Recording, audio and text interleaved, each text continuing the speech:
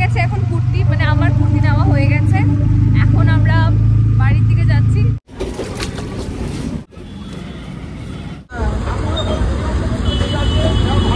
দেখো, তোমরা দেখতে পাচ্ছ, এই কুর্তিটা হচ্ছে একটু হাই নেক মানে চাইনিজ কলার বলে, ওই চাইনিজ কলারের আমার হেয়ার অয়েলের রেসিপিটা শেয়ার করা এখনও বাকি।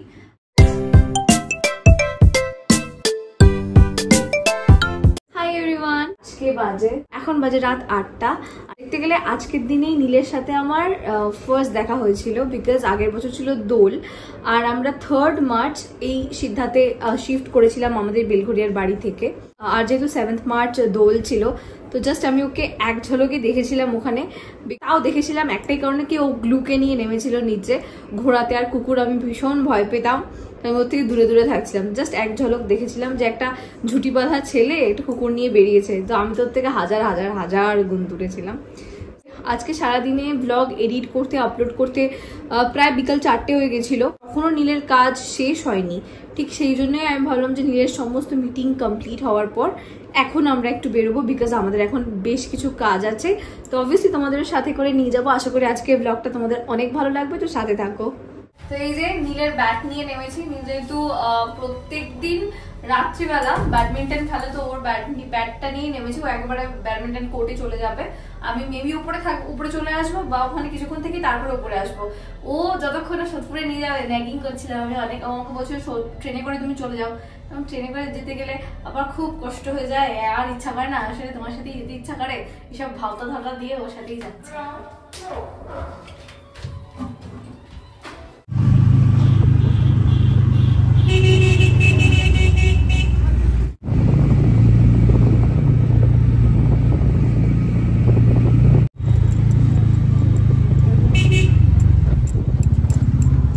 তো সোদপুরে আমি যেই দোকানটা থেকে জিনিস কিনি তার দোকানের যে জিনিসগুলো আমার পছন্দ হয়, সেগুলো আমি পছন্দ করি বেসিক্যালি ফেসবুক লাইভ দেখে। আর যেহেতু সোদপুরটা আমার বাড়ির একদমই কাছে, তাই জন্য আমি ডেলিভারিটা নিই না, আমি হ্যান্ড টু হ্যান্ড ডেলিভারিটা দোকান থেকে কালেক্ট করে নিই।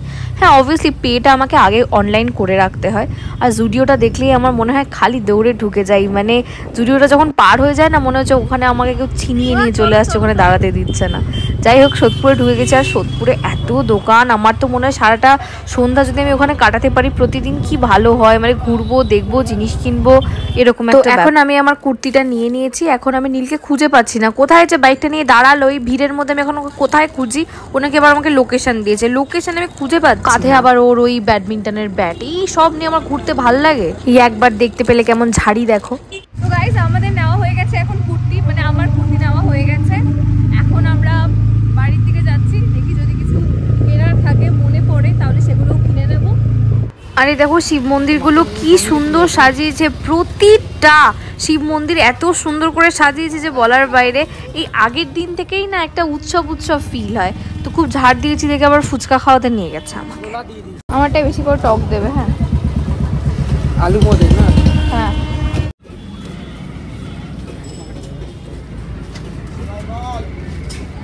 নীলের জন্য যখন আলুটা মাখে ওরটাতে একটু ছোলা ছাড়া আলু মাখে বিকজ ও ছোলা খেতে একদমই পছন্দ করে না। আর আমি তো খালি বলি, আমাকে বেশি করে টক আর বেশি করে ঝাল দিয়ে ফুচকা দেবে। আর আমি সবসময় এক জায়গা থেকেই ফুচকা খাই। খড়দা স্টেশনের সামনে যে ফুচকাটা বসে, আমি অ্যাকচুয়ালি ওখান থেকেই ফুচকা খাই। আর এখানে খেতে এসে না ফুচকা তোমাদের মধ্যে অনেকের সাথেই আমার দেখা হয়। গতকালও আমার একজনের সাথে দেখা হয়েছিল। ও বলছিল, ও নাকি ক্লাস টেনে পড়ে। बड़ा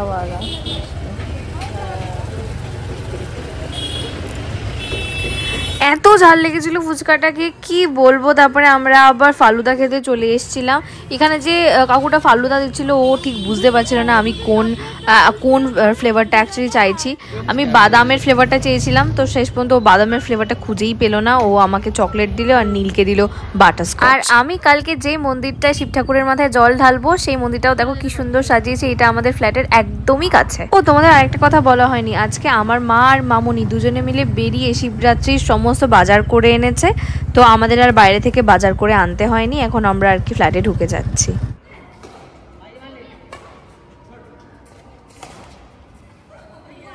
আর এইটাই হচ্ছে আমাদের ব্যাডমিন্টন কোর্ট। এটা হচ্ছে অ্যাকচুয়াল ব্যাডমিন্টন কোর্ট যেটা আমাদের দেখছ। আর ওই ওই যে গ্রিন, যে গ্রাসের উপর যেটা খেলছিল দুজন, ওটা হচ্ছে জাস্ট নর্মাল প্লে গ্রাউন্ড ওখানে নীল আছে এখন, আমি উপরে চলে এসেছি, এখন আমি এই দইটা কিনে এনেছি, ওটা আমি ঢুকিয়ে রাখব ফ্রিজে বিকজ ওটা আমি ওটসের সাথে মিক্স করে খাব।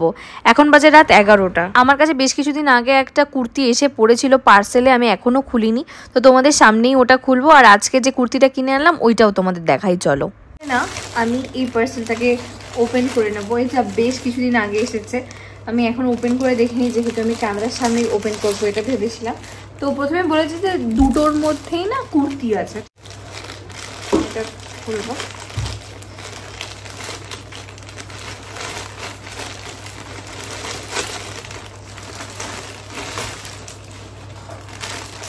ফার্স্ট কুর্তিটা হচ্ছে এইটাই। আমি সবসময় একটু চাই যে একটু সোবার কালারের মধ্যে কুর্তি কিনতে। তো এটা হচ্ছে সেই সোবার কালারের মধ্যে কুর্তি।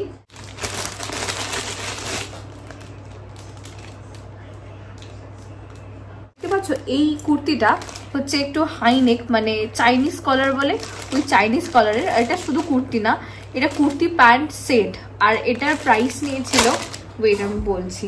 এক সেকেন্ড আমাদেরকে এটার প্রাইসটাও একটু বলে দিচ্ছি, দাঁড়াও।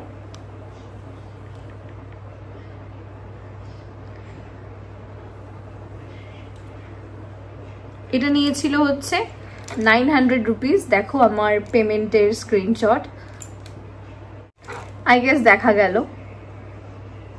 ওকে সো এটা যখন আমি পড়ব অবভিয়াসলি আমি তো ফটো তুলবো বা ব্লগ করবোই, যে কোনো একটা হবে। কি হয় বলতো ফটো আমি সব থেকে কম ক্যাপচার করি, খুব কম আমি ফটো তুলি। বেশিরভাগ সময় হয়তো ভিডিও করি ভিডিওর মধ্যে থেকে ছোট ছোট ক্লিপিংস নিয়ে আমি ফটো বানাই দ্যাটস ইট এবার দেখি যে মহালক্ষ্মী থেকে আমি কি কিনলাম। মহালক্ষ্মী থেকেও আমি কিনেছি। আচ্ছা এটার প্রাইস আগে বলে দিই। এটা হচ্ছে five thirty rupees only five thirty rupees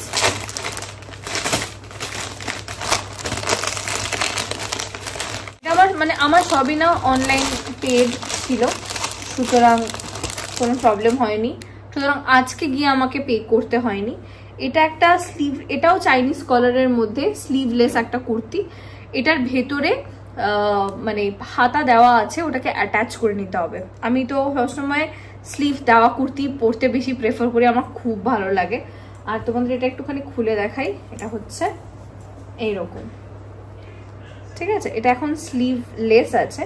আর ভেতরে স্লিভ দেওয়া আছে, ওটাকে আমি কি, ওটাকে জাস্ট আমাকে একটু অ্যাটাচ করে নিতে হবে দ্যাটস ইট রেগুলার ইউজের জন্য কুর্তি প্রেফার করি, তোমরা সবাই জানো। আর এখন যেহেতু সামনে আমি হানিমুনে যাব, তো হানিমুনে আমি কি কি ড্রেস কিনছি সেগুলো তোমাদের সাথে অবভিয়াসলি শেয়ার করব। আর কিছুদিনের মধ্যে আমি আমার রুম ট্যুরটাকেও শেয়ার করব। আমি কি বলেছ যে শ্বশুরবাড়ির রুম ট্যুর দাও অবভিয়াসলি দেবো বাট কিছুদিন পর দেব। কারণ আমাদের ওয়ার্ড্রোবের কাজ চলছিল, তো ঘরটা সেই জন্য না পুরো মেসি হয়েছিল। এখন ঠিক হয়ে যাবে আমি তোমাদের শান্তি মতো দিতে পারব। তিন দিন ধরে আমার জামাগুলো ভেজানো এখনও কেচে ওঠা হয়নি। কারণ এই সবুজ জামাটার রং উঠছে। এবার এটার সাথে আমি সব জিনিসপত্র দিতে পারব না। আমার কাছে এই জিন্সের জামাটা কালকে চাঁদনি চকে পরে গেছিলাম, এটাও কাচতে হবে। কারণ সারাদিন পরেছিলাম, একটা সাদা লেগিংস আছে, ওটাকেও কাচতে হবে। ওগুলো কিচ্ছু আমি কাচতে পারছি না মানে এই বালতিটার মধ্যে ঢোকাতে পারছি না। তার কারণ হচ্ছে, যদি রং লেগে যায় সাদা লেগিংস তো অবভিয়াসলি আলাদা করেই কাচতে হবে। আজকে বাইরে দেখো কি সুন্দর হাওয়া দিচ্ছে। একদম ঠান্ডা ঠান্ডা শীতের মতো হাওয়া দিচ্ছে। আজকে বেরিয়েছিলাম। আজকে জানো তো আমি ভুলেই গেছিলাম। আজকে সাতই মার্চ মানে আমাদের বিয়ে তিন মাস কমপ্লিট হলো। লিটারালি ভুলে গেছিলাম, আমার একদম মনে ছিল না। আর মনে ছিল হচ্ছে একটা জিনিসই যে আজকের দিনে আমি ফার্স্ট এক ঝলক নীলকে দেখেছিলাম। তো ওইটাই মনে ছিল যেটা আমি তোমাদের সাথে শেয়ার করলাম। তো ওটাই হচ্ছে ব্যাপার। বেশিরভাগ সময় আমি রাত্রে কি করি? যে যদি আমার পরের দিন খুব বেশি মানে ভাইটাল কোথাও যাওয়ার না থাকে, তাহলে আমি হেয়ারে অয়েলিং করে নিই। মোটামুটি একটা রাতে হেয়ার অয়েলিং করলেও আমার হেয়ারটাকে একটুখানি বাঁচানো যাবে বলে আমার মনে হয়। সো যাই হোক তোমাদের সাথে আমার হেয়ার অয়েলের রেসিপিটা শেয়ার করা এখনও বাকি। আমি খুব সুন সেই ভিডিওটা শেয়ার করে দেবো, কোনো অসুবিধা নেই। বাট সত্যি কথা বলতে না, কিছু ডুজ অ্যান্ড টোনস থাকে। হেয়ার অয়েলিং করার ক্ষেত্রে হেয়ার শ্যাম্পু করার পরে বেশ কিছু ডুজ অ্যান্ড ডোন্টস থাকে। তো সেটা কিন্তু সবাই জানে না।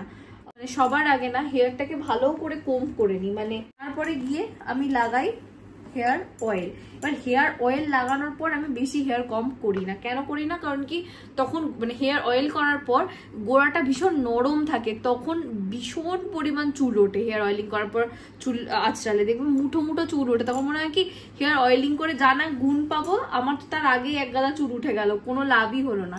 তাই জন্য আমি হেয়ার অয়েলিং এর আগে ভালো করে চুলটাকে কম করে নিই। আর তুমি দেখবে যদি হেয়ার অয়েলিং এর আগে তুমি চুলে কম করো আর এই চিরুনির ব্রিসেলসে যে গোল গোল মানে দানাগুলো আছে, ওটা না তোমার স্কাল্পকে একটুখানি স্টিমুলেট মানে ব্লাড স্টিমুলেট করতে সাহায্য করে। সুতরাং চুলের অয়েলটা ভালো করে ঢোকেও। তাই যতটা পারবে ভালো করে তোমরা হেয়ারটাকে কম করে নেবে। মানে এই ব্রেসেসগুলোকে মাথার স্ক্যাল্পের সাথে টাচ করিয়ে করিয়ে।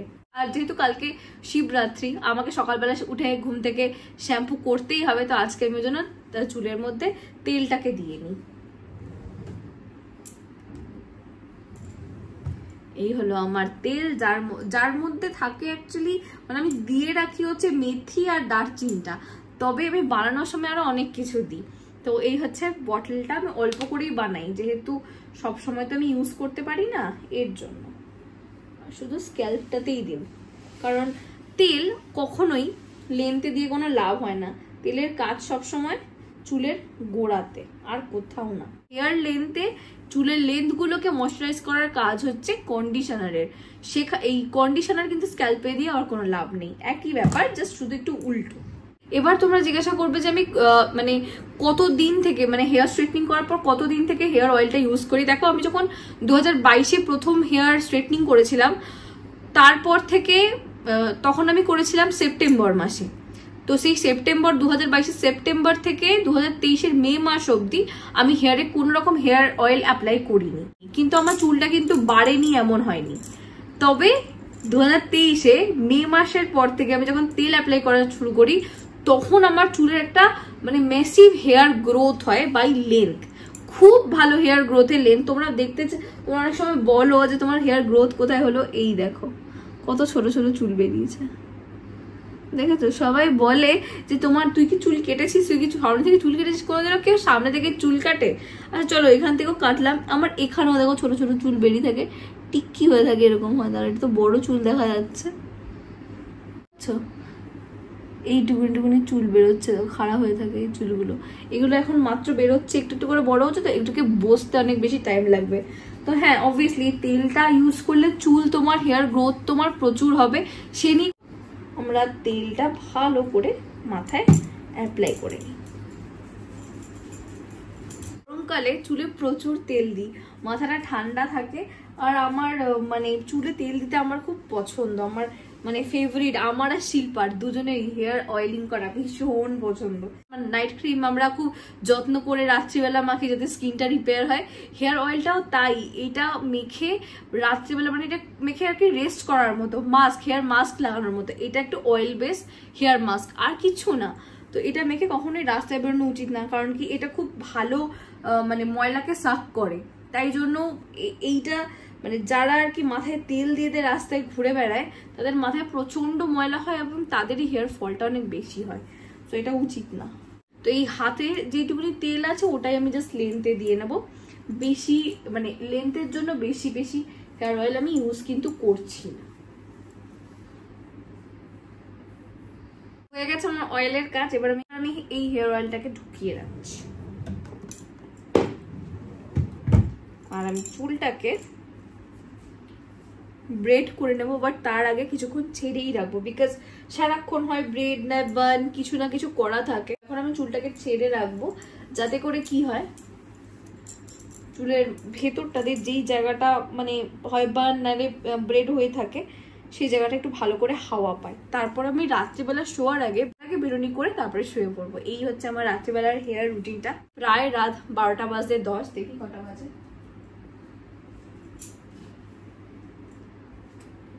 এখন বাজে হচ্ছে এগারোটা ছেচল্লিশ। তো তোমাদের সাথে আমার দেখা হচ্ছে আমার নেক্সট ভিডিওতে কালকেই হচ্ছে শিবরাত্রি। তো শিবরাত্রিটা আমার খুব সুন্দর করে করার ইচ্ছা আছে। তো এই ব্লগটা আমার শেষ হচ্ছে আজকে। কালকের ব্লগটা মানে শিবরাত্রির ব্লগটা আসছে আবার আগামীকাল। আমার এই আজকের ব্লগটা ভালো লাগলে তোমরা অবশ্যই লাইক করতে ভুলবে না। তোমরা যদি আমার চ্যানেলে নতুন হয়ে থাকো, তাহলে অবশ্যই সাবস্ক্রাইব করে পাশের বেল আইকনটাকে ক্লিক করে দিও। ইনস্টাগ্রামে আর ফেসবুকে ফলো করতে পারো, আমার সব ডিটেলস নিচে ডেসক্রিপশন বক্সে দেওয়া আছে চেক করে নিও। আমি তোমাদের সাথে মিট করছি আমার নতুন ভিডিওতে ততদিন সবাই ভালো থেকো, সুস্থ থেকো, আর আমার চ্যানেলের সাথে থেকো। বাই